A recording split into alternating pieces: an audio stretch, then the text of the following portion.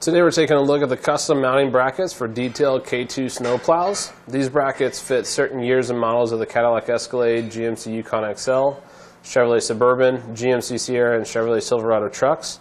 To ensure that uh, this is a fit for your vehicle, you can always use the vehicle fit guide at eTrailer.com. Now these are custom fit mounting brackets that allow you to quickly attach and remove your Detail K2 snowplow.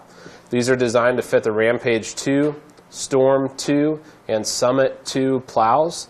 It's a two-point bracket system. Uh, they're designed to fit close to your vehicle without protruding beyond the bumper. And it's a bolt-on installation to your vehicle's frame, which allows great ground clearance to avoid curbs.